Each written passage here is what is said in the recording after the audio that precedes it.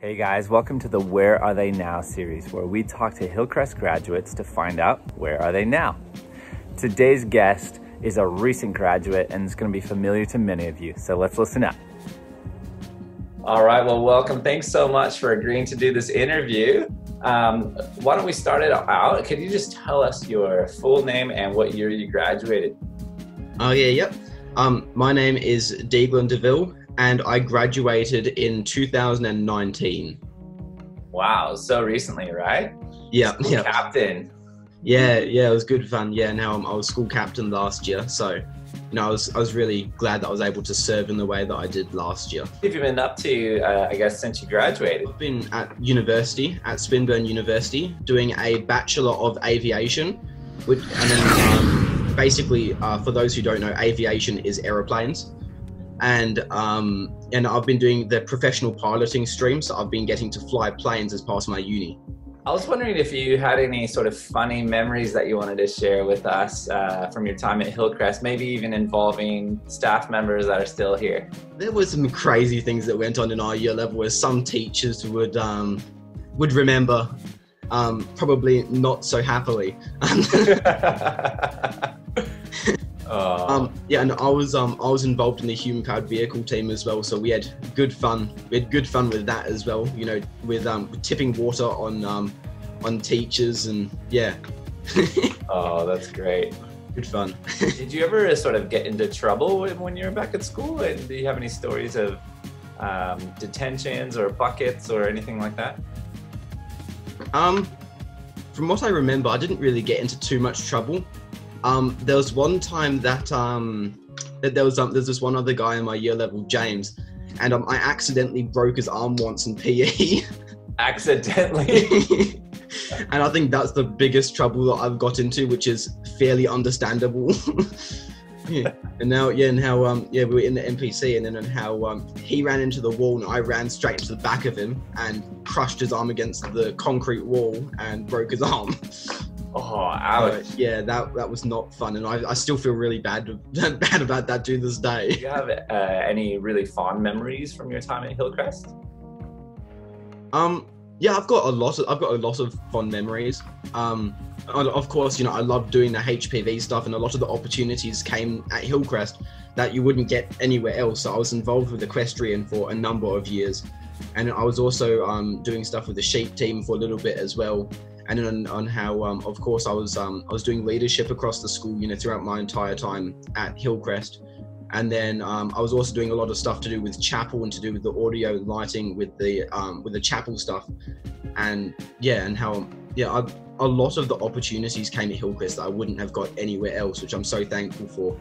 And um, yeah, especially with the chapels, you know, I really loved doing the chapels and serving in that, that way. How, how was your relationship with God back uh, when you were at school, say in year 9, 10, and that, um, compared to how it is now? in year nine and ten on how um I think that was more when I was just trying to find out who I was as a person, really.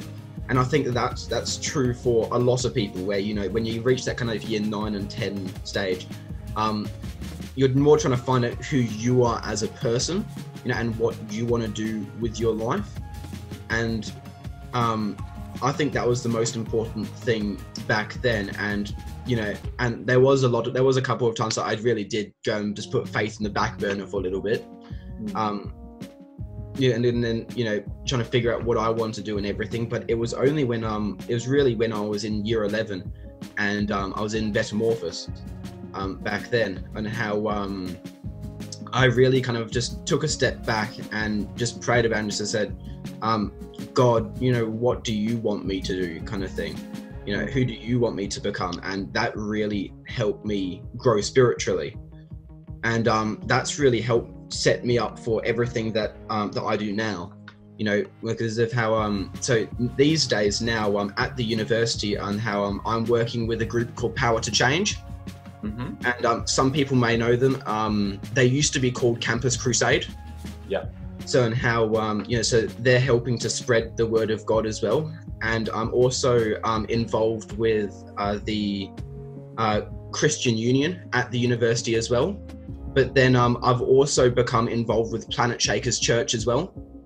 So and how um, is on how you know um, I feel like as if I've grown heaps, and especially with my time at Hillcrest, it's really helped set me up, you know, with the groundwork of what I need to, you know, what I, you know, kind of like just telling me it's a step back, you know, God has it in His control, and you know, just talk to God about what you know about what He wants you to do. As a closing thought, um, building on that, did you have any, uh, I guess, advice or maybe Bible verses that you would share with our current Hillcrest students? Take the time to stop and pray. In these times, you know, how could it hurt just taking, you know, just two seconds out of your time and just, you know, just to pray, you know, God, you know, what do you have? What do you want me to do? Some Bible verses that may help some of the students. Numbers chapter 6, verse 24 to 26. In the NIV version, it says, um, The Lord bless Lord make his face shine upon you and be gracious to you the Lord turn his face toward you and give you peace. My favorite verse comes from Psalm chapter 46, verse 10, and it says, Be still and know that I am God. I will be exalted among the nations, I will be exalted in the earth. And the main part for me is that first little section be still and know that I am God. You know, it's just something that is just so peaceful. You know, just take a step back and go and say, okay, you know, God has the situation. That was awesome, Deaghlan. Thank you so much. That was full of uh, lots of wisdom, and I think you're wise beyond your years. uh, we really, really appreciate that, May, and uh, we wish you all the best for your future. And um, and thanks so much.